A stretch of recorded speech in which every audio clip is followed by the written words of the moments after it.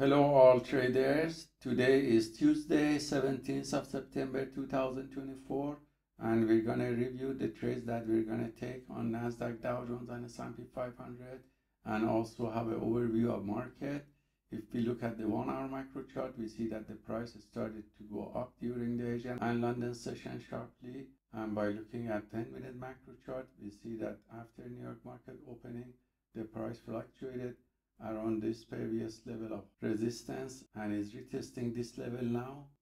So our plan of action for today is to see the result of this retest of price and we wait for the market to have a deep pullback and retest this previous day level of close or low and after it bounce back and the buyers come back we take long positions repeatedly because the market is overall is bullish and if also break this resistance level then we wait for a pullback and again we take long position on the uptrend channel.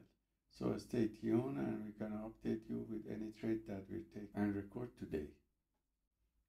So i came back around 1010 and market had a pullback and retested the previous swing low on the 10 minute macro chart and i took long position repeatedly with setup c and t on Nasdaq, Dow Jones, and S&P 500, but forgot to record this. Now I'm recording everything live with three times faster speed, and I just took a long position on Dow Jones, and uh, the buyers hesitate to push the price, so I may just close it prematurely.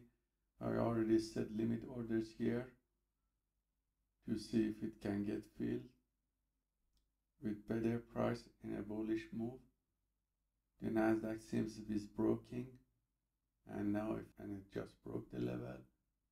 So I closed the Dow Jones and I'm waiting for Nasdaq to have a pullback to re-enter and just waiting.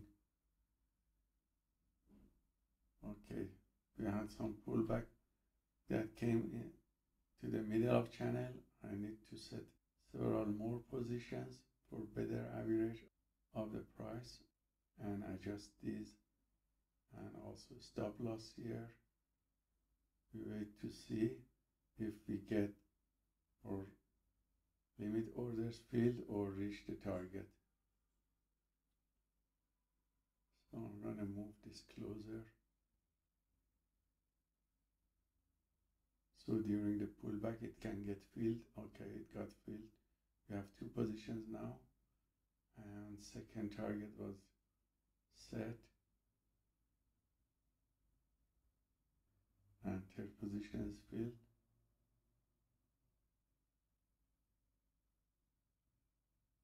and the buyers came back now. I'm pushing the price higher so one position is closed. And price is very choppy and is not following. Okay now time to close the next one maybe that's good time. Doesn't go up so I'm gonna close manually. Yeah and this last position also. So it was very choppy and I finished for the day so let's look at the stats and all these signals. Were copied by copy trader to multiple apex trader funding accounts. And you see here the performance of one of these accounts which was positive and it's showing the profit factor of 2.45 which is coming from 75% win rate from all long positions taken and also the average win to loss ratio of 0.82. The largest winning trade was 250 and the largest losing trade was $266. So hope this trade taken by the PAAT system for fast scalping is useful for you and let us know if you have any questions. Have a wonderful day.